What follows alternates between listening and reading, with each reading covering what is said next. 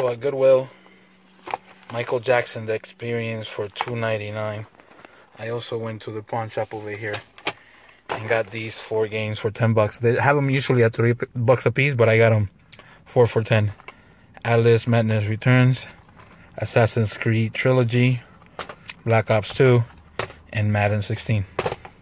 All for 10 bucks. Later.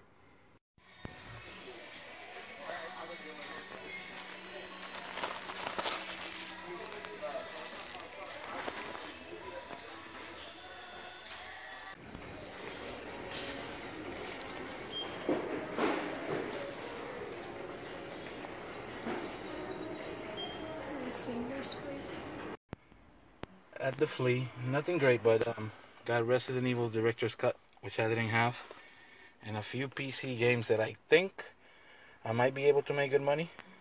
And altogether, everything in there was 31 bucks.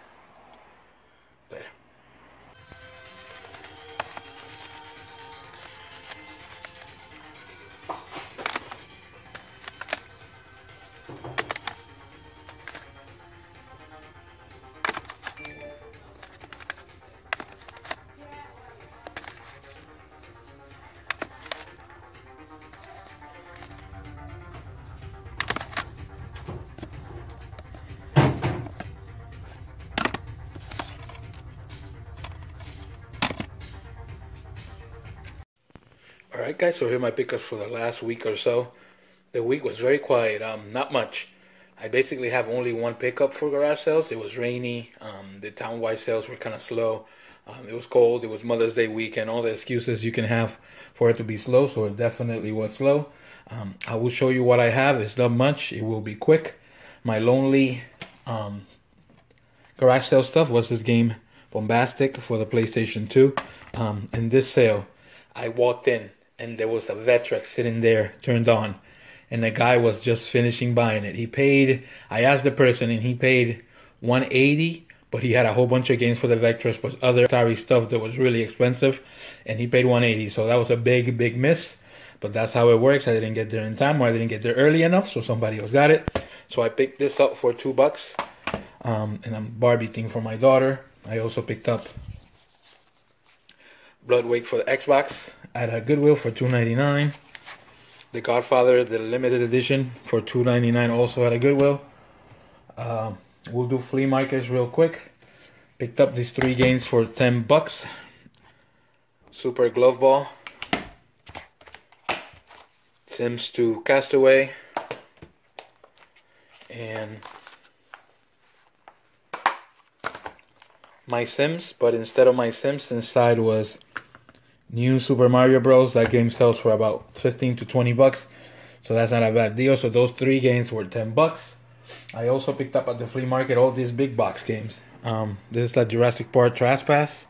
I already sold this one for 25. I paid 20 for all four or five. I also picked up these, um, they're called Trapezoid games for the PC.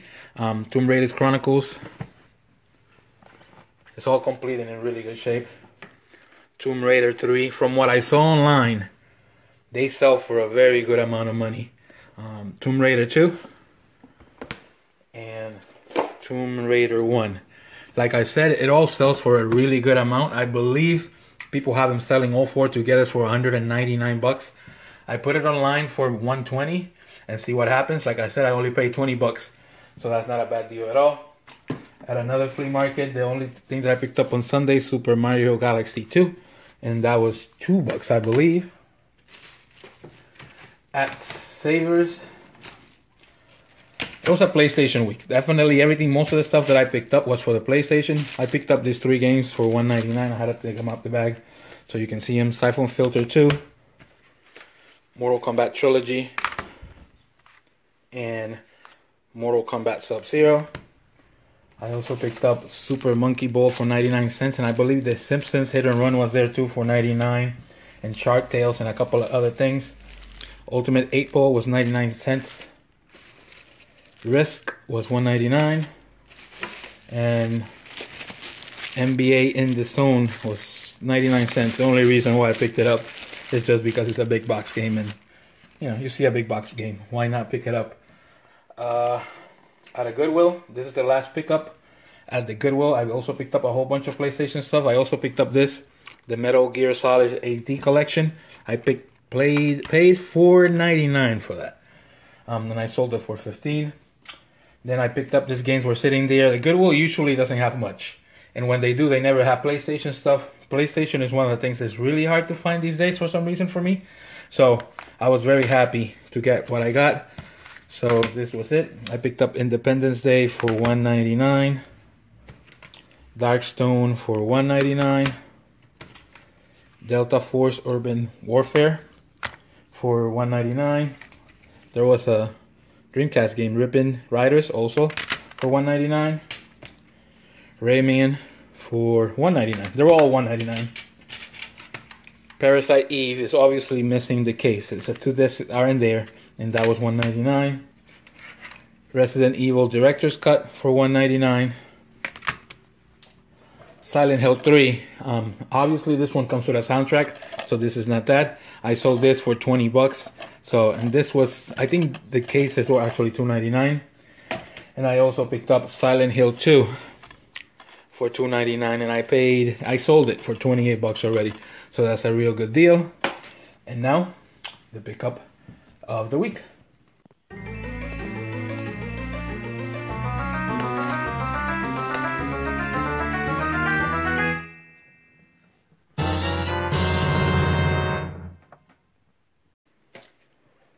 So the pickup of the week was this game, Resident Evil's Director's Cut. I picked it up at the flea market. Um, the guy said he only wanted a dollar. There's two versions of this. There's the long box, and then there's this, the two discs. I think this is a little bit more rare than the actual long box. This is how it came. One game here. And game number two here with the manual. Um, the game goes from anywhere from, in good condition like this one, goes between 45 and 55 bucks. So it's a really cool game and something that I didn't have. One of the few Resident Evil games that variation that I didn't have. So very happy to get this for a decent price. A buck. You can beat a buck. A dollar is a fantastic price. Like I said, the week was short and sweet. A lot of PlayStation st PlayStation stuff that I usually don't get. Um, don't forget to like and subscribe. And hopefully, we will see you all next week. Later.